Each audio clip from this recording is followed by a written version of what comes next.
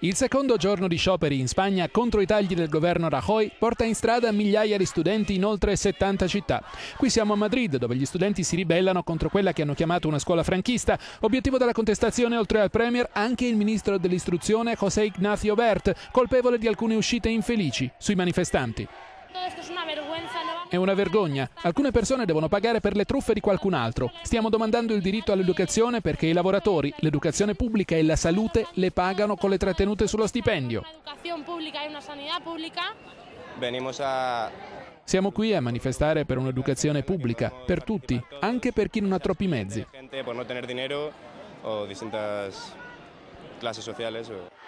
I tagli del governo sulla scuola prevedono una riduzione del 21% nel 2013 e del 14% l'anno successivo.